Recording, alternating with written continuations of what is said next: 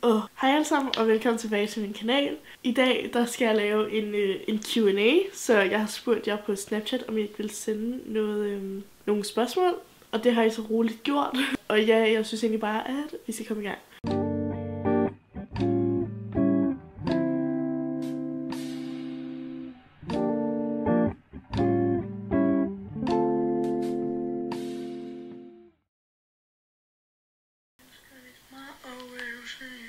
Gør sammen med hun, jeg har det så godt.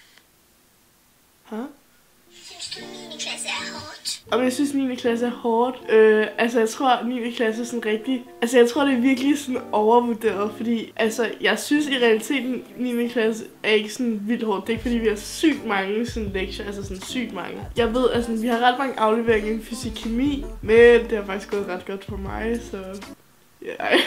Men øh, det er faktisk ikke så hårdt, som folk tror. Eller jeg tror, det kommer an på, hvor man ligger fagligt, fordi der er alligevel meget, man sådan skal følge med i. Og vi har lige haft sygt mange uger, hvor vi har haft projektopgave og prøveeksamen og alt muligt. Jeg tror bare, man skal, altså, man skal bare tage en uge ad gangen og sådan altså, Det er slet ikke så slemt. 9. klasse var 9. klasse. så man skal prøve det før man ligesom, ja.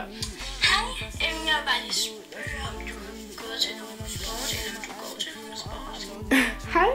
Altså, da jeg var lille, gik jeg til ballet, men hvem gjorde ikke det? Altså, så gik jeg til dans i rigtig mange år. Altså, så startede jeg til håndbold, og jeg elsker håndbold. Men, øh, og så har jeg gået til atletik, som jeg virkelig også godt kunne lide. Louise, jeg elsker virkelig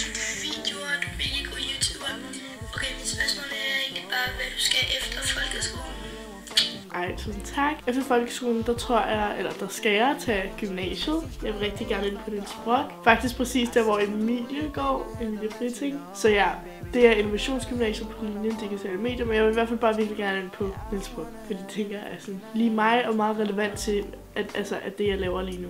Du skal se den her serie, der hedder Grey's Anatomy. Okay. Hvad er opskriften på din gode røv? Hvad er opskriften? Hvad er din yndlingsfarve? Hvad er det? Hvor gammel synes du, man skal være for at begynde at drikke? Vi elsker dine videoer.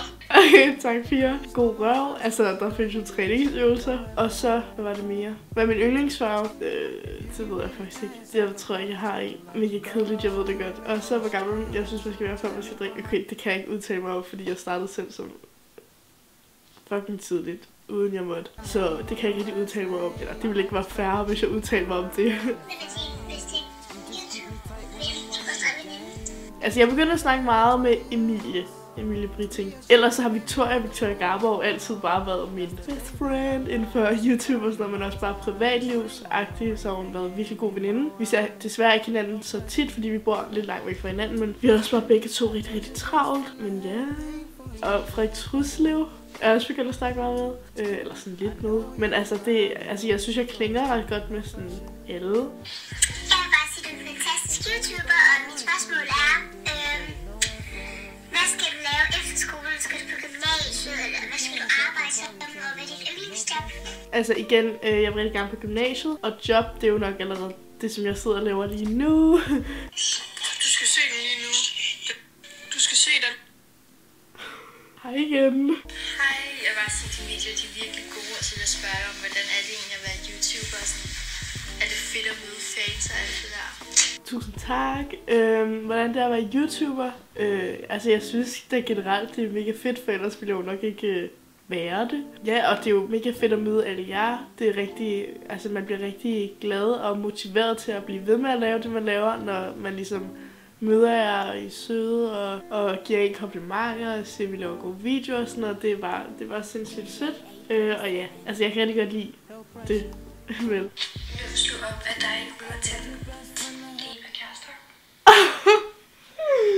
Okay, gammel nok. Øh, altså det er 100 år siden. Det var sådan... Jeg kan huske, jeg kan huske vi slog op den 1. september 2016, og vi er altså i februar 2018 nu. Så det er jo 100 millioner år siden. Men øh, det var... Det, altså, jeg tror bare, vi blev sådan lidt enige om det, men jeg tror, det var mig, der henvendte sig til ham. Men det er vildt nok, at jeg stadig kan huske det forhold.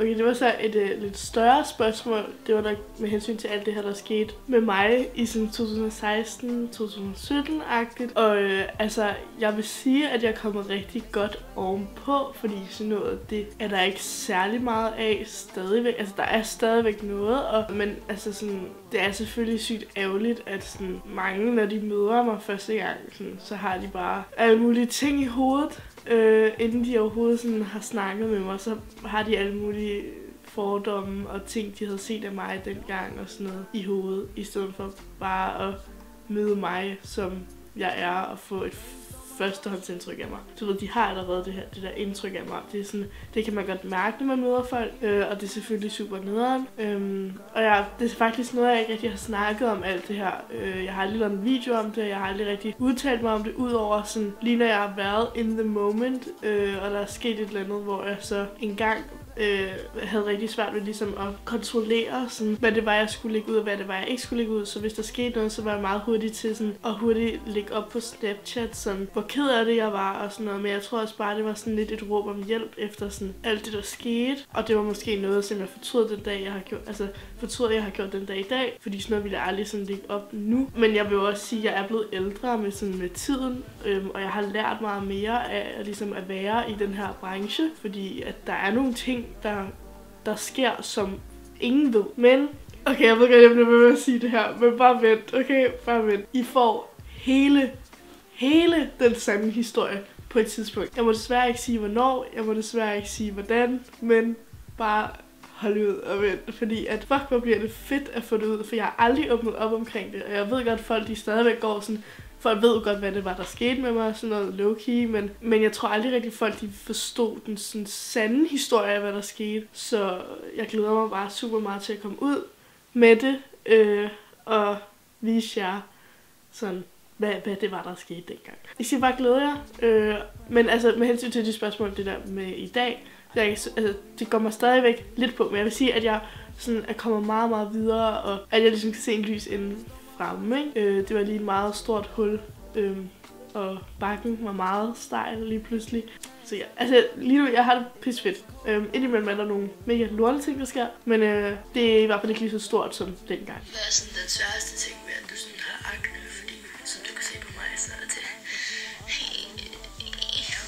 Jeg har virkelig lang tid sådan overvejet at lave sådan en video om akne, hvor jeg snakker om det, og snakker om min proces og alt sådan noget. Og som I måske kan se, er det blevet meget, meget bedre. Jeg har haft akne, siden jeg gik i 6. klasse, og jeg går i 9. klasse nu.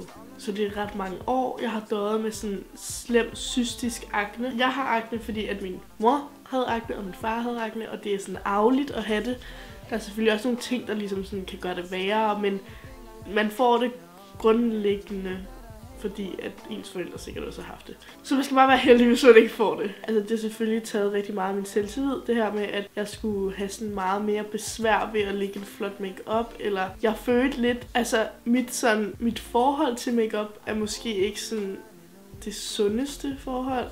Jeg føler lidt sådan, at jeg har brug for det, for at ligesom kunne gå ud i verden. Og der ser jeg faktisk lidt op til dengang jeg gik i 7. klasse, for der var jeg røv glad. Det var mega befriende egentlig, ikke? Fordi makeup det sætter også en rigtig stor stopper for mange ting. Du ved, jeg husker huske i sommer, der var det meget sådan noget med, at vi tog på bryggen og badet. Og altså når man skal bade, så kan man selvfølgelig ikke have makeup på. Det kan man godt, men du ved, ja, det gør man jo ikke, vel? Og jeg havde bare virkelig svært ved at vise min hud. Det var også der, hvor at min hud var værst, og det var også der, jeg havde det sværest, kan man sige. En gang var jeg bare sådan lidt, fuck det og sådan noget, men jeg, men jeg ved det ikke, altså jeg har det bare sådan, jeg vil gerne se godt ud, og jeg føler det, altså jeg føler, at jeg ser godt ud, når jeg ligesom har fået lagt min makeup.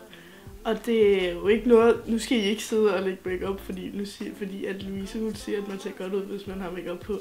Der er så mange, der er født med et fucking flot ansigt uden makeup. For eksempel to veninder, Sille og Angelica og Maja for det, og rigtig mange af mine veninder, de, altså, de kan bare gå i skole uden makeup, og man kan ikke engang lægge mærke til, at de kommer makeup, fordi de er bare pæne uden makeup. Ja, men jeg, jeg, det er også lidt svært at forklare, for det er sådan lidt noget, der stadig kommer sådan på, det her med, at jeg føler lidt, at jeg har brug for det før jeg kan gå ud og sådan noget. Men det er også bare fordi, at jeg som person kan rigtig godt lide at gøre noget ud af mig selv, når jeg skal gå ud. Fordi at min selvtillid den er bygget op af, at jeg føler, at jeg selv ser godt ud. Så nu kan jeg ikke engang huske spørgsmålet. Men øh, min, akne, min akne har påvirket mig rigtig meget siden den dag i dag. Øh, vil du bare sige, at du skal beskrive din drømmefyr? Min drømmefyr. Øh, altså, jeg har i hvert fald ikke mødt ham endnu. Ej, det er det sgu ikke. Jeg svæver fyre, ikke? De er mærkelige, de er fucked up, synes jeg.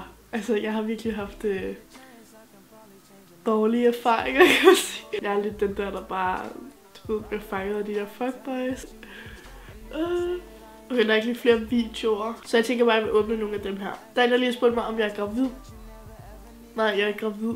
Hvad er din yndlingstaske lige pt? Og jeg overvejer virkelig meget at lave sådan en der mine tasker. Men min yndlingstaske, det er en, jeg lige har købt. Og det er en Balenciaga. Uh. Jeg har købt sådan en uh, Balenciaga, og den er brugt. Jeg fik den for 4.500.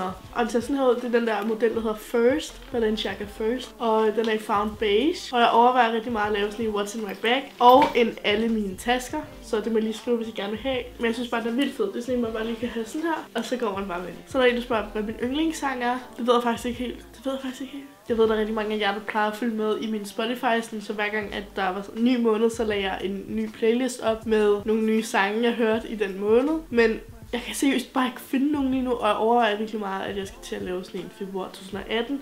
Selvom, min, selvom jeg ikke lavede en december eller januar øh, playliste. Men jeg tænker, jeg lige skal i gang. Så er der en, der spørger, hvad vil du arbejde som, når jeg bliver ældre? Øh, det her. Og så er der rigtig mange, der spørger mig, jamen vil du så også sidde som gammel og sidde og lave videoer? Det ved jeg ikke, men så kan det være, at jeg har fået noget, sådan noget nyt, som for eksempel et tøjmærke eller et eller andet. Så er der en, spørger, hvor gammel er du? Og øh, jeg er 15 år lige nu. Lige nu, hvor jeg sidder og filmer den her video, så er jeg 15 år. Men øh, jeg bliver 16 her lige om lidt til den, øh, den 5. marts. Så øh, yeah. har du et crush? Hvis ja, hvem? Nej, øh, jeg har givet... Øh, jeg har givet fuldstændig op. Ej, okay, så jeg siger en eller 15. Nej, men øh, det har jeg ikke. Øh, der er faktisk ingen lige pt. Og det har da ikke været lang tid, så det er mega YOLO swag cool. Hvor gammel var du, da du drak din første genstand? Uh, nu er det her, vi skal være ærlige. Altså, jeg har altid godt måtte smage, men du ved, altså sådan et, det er jo ikke en skid, vel? Men min første genstand, den drak jeg, da jeg var, hvad var jeg? Jeg drak en Mokai. jeg drak en Mokai lige da jeg var 12-13 eller sådan noget. Jeg kan det var dumt, ikke? Men der skete jo ikke noget. Det var ikke fordi, jeg døde. Altså, slap af. Øh, hvad ser du mest frem til til i din kommende gymnasieår. I realiteten, så ville jeg godt bare kunne lade være med at tage gymnasiet. Og det er der også mange, der sådan har sagt, jamen, hvorfor, hvorfor gør du ikke bare det her fuldtid efter 9. klasse? Men både fordi jeg vil være på den sikre side, fordi så har jeg altid gymnasieuddannelsen ligesom i lommen, så jeg ligesom kan uddanne mig videre, hvis nu der sker et eller andet, eller hvis jeg får interesse for et eller andet. Og så plus, at, øh, at øh, jeg glæder mig sygt meget til det sociale og festerne, og altså selve gymnasiumoplevelsen. Øhm, det er jo en meget stor del af ens ungdom. Det ved jeg i hvert fald fra mine forældre og sådan noget. Hvordan går det med din hud? Den ser virkelig smuk ud. Altså, jeg synes, det går rigtig godt. Men jeg kan i hvert fald se fremskridt. Jeg er på nogle piller, der hedder isotretinoin, som vi skal tage to af hver dag. Og det gør, så jeg får utroligt tørre læber og hud, og det er så irriterende. Men ja, ellers så går det i hvert fald pisse fedt. Beskriv dit værelse med tre ord. Og jeg skal nok snart lave en roomtour til jer, der sådan der spørger. Jeg vil nok sige, det er sådan skandinavisk, personligt, og overdrevet blokkeragtigt. Hvordan får du dine tænder så hvide? Jeg synes ikke, de er særlig hvide. Er de? Er de ikke bare sådan normal farve? Sådan, det er ikke fordi, det gør noget, men jeg har aldrig prøvet det der hvide whitening ting. Hvad giver dig inspiration til din outfit? Instagram, helt klart. Øh, men også bare sådan, når jeg ser folk gå i virkeligheden og ser, hvis de har sammensat noget. Eller hvis man er til events, du ved, der er virkelig nogen sådan altså nogle, nogle altså fede personligheder, ikke? Hvor gammel var du, da du startede på YouTube? PS, du var den bedste YouTuber, og tusind tak. Øh, jeg var 13 år gammel. Nej, nej, nej, hvad snakker om? Jeg var 11, jeg var 11 år gammel. Hvor mange har du haft noget seriøst med? To, tror jeg. Men det er bare 100 år siden, og det nej, når jeg tænker tilbage. Hvordan har du det med, at der er så mange, der er efter dig på grund af det med rygning og alkohol? Ærligt, jeg kunne ikke være mere ligeglad. Altså, jeg, jeg synes, det er... Også når jeg kigger tilbage på dengang, folk var sådan hun ryger, hun drikker, uh, uh, uh, se, hun har en, der ligger en smøgpakke på jorden, hvor hun har taget et billede, uh, det kunne være hendes, og jeg tænker bare, okay, hold ud med alle sammen. Men altså sådan, jeg er pisselig glad nu, jeg ved ikke, hvorfor folk gider bruge deres tid på det. Der var, jeg fik faktisk også en kommentar her på tidligere video, og der, den fik faktisk rigtig mange likes. Hvorfor føler jeg, at så sådan snottet? Det er godt nok irriterende. Oh. Øhm, der var faktisk en, øh, en sådan ældre kvinde, tror jeg, eller en ældre pige, øhm, som skrev til mig, hold det op, er du kun 15 år eller et eller andet. Og så siger hun, at jeg bare skal tage det roligt, og, øh, og alt det der med alkohol og druk og, og, og fester og drenge, de skal nok komme, og at jeg bare skal nyde min barndom og alt muligt, ikke? Men altså, jeg har nydt min barndom, og sådan, jeg er, jeg er snart 16 år, selvfølgelig, det er bare noget, man gør, tænker jeg. Det er også noget, jeg har lyst til, så hvorfor skulle jeg vente? Hvorfor, altså, vil du så have, at jeg skulle sidde derhjemme og vente? jeg forstår det ikke. Det er sådan noget, jeg ikke helt forstår. Altså sådan, jeg kan selvfølgelig godt se det der med, at man måske ikke skulle starte med at drikke, da jeg startede med at drikke. Ej, når jeg tænker tilbage, jeg har haft et grineren liv indtil videre, synes jeg selv. Jeg synes bare, jeg synes bare lidt, at man bare skal, det ved jeg ikke. Ærligt, altså jeg ved det faktisk ikke helt. Men jeg synes bare, at måske lidt folk kunne slappe af en gang imellem, og bare være lidt ligeglad måske. Men ja, det var i hvert fald alt for den her. Men ja, det var i hvert fald alt. Men ja, det var, ja, men ja, det var i hvert fald alt for den her Q&A. Jeg håber rigtig meget, I kunne lide den. Og øh, ja, så håber jeg, vi ses. Så håber jeg, vi ses i alle mine fremtidsvideoer. Hej hej!